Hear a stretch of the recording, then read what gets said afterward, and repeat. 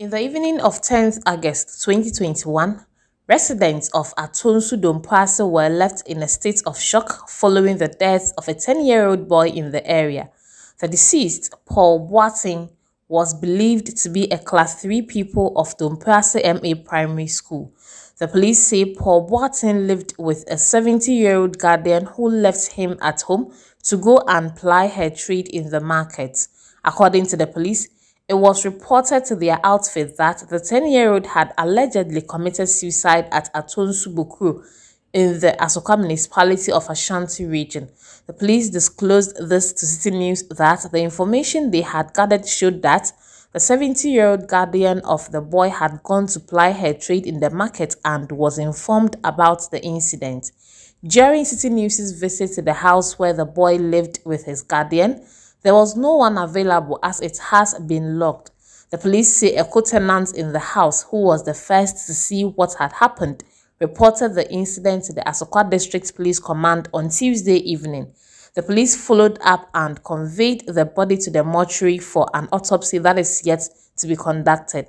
The Asokwa District Police Command says two persons, including Yao Akwaku Sapon, the young man who reported the incident to the police, have been arrested to assist with investigations. Chief Superintendent Christopher Mpieni is the district police commander for Asokwa. We had a report yesterday around 4.30 to 5 p.m. that he had hanged himself.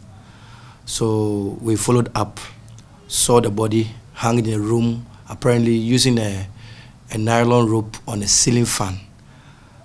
Currently, as we speak, the body is at the morgue for an autopsy for us to determine the actual cause of death. Uh, however, we we also tried to do some investigation around the vicinity, and we were not convinced with the form of the sort of information we gathered, and as to what was reported. So currently, as we speak, we have two persons detained in our custody to assist us with investigations, and these two are Yao Ekyokun Sapon, and then Eric Jima. And they both happen to be relatives. Relative in the sense that they were all staying in the same compound with this young man, young guy who lost his life. And the reason why the two of them have been kept in ourselves to assist us is that we believe that the time the young man was seen around the vicinity and the time the report was made about his death we needed some answers which were not forthcoming. So that's why we decided to keep the two in our custody. Residents here have been thrown into a state of shock and they have been wondering what could have possibly led to the death of the young boy. For the police, they say they will conduct thorough investigations into the matter to ascertain the actual cause of death. For Citi News, I am Fatih Amin Ibrahim, Atonsu S-Line.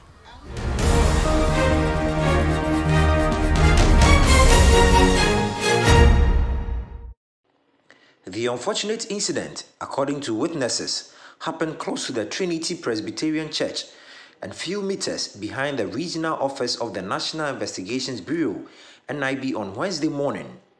When Citi News got to the scene, residents had gathered still waiting for the police to come around. However, personnel from the NIB were there preventing the residents from getting closer to the crime scene.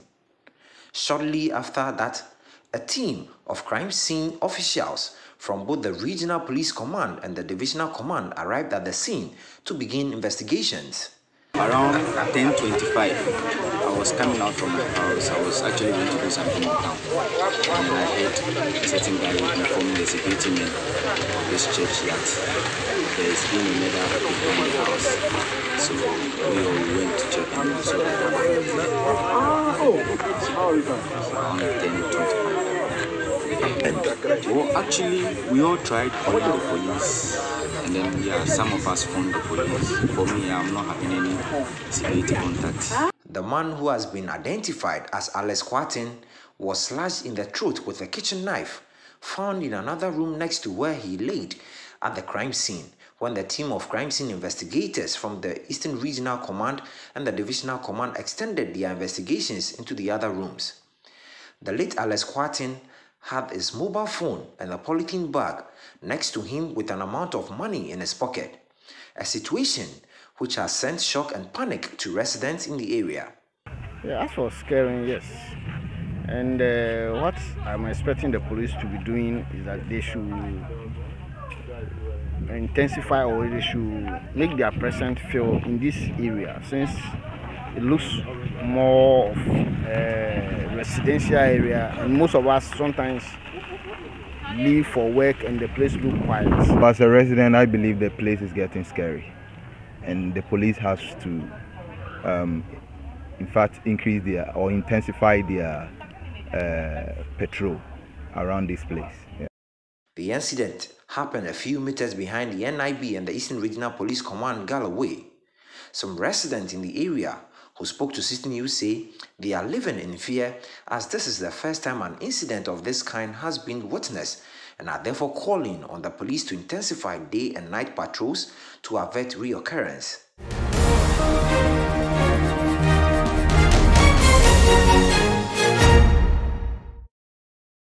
The six suspects, made up of two men and four women, were arrested on Wednesday afternoon from two separate houses in Kandiga by the Upper East Regional Police Command upon acting on intelligence.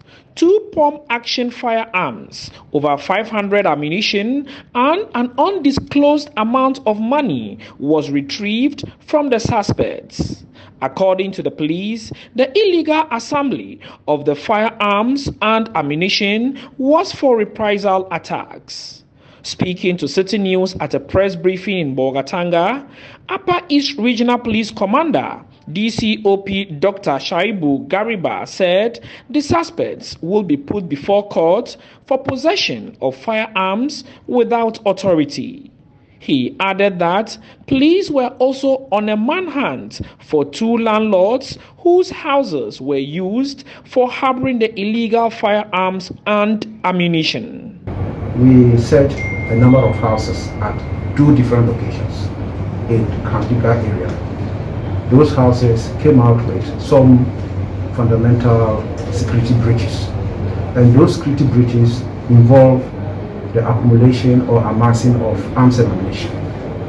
For one of the houses, we discovered two pump action guns and then a quantity of um, ammunition.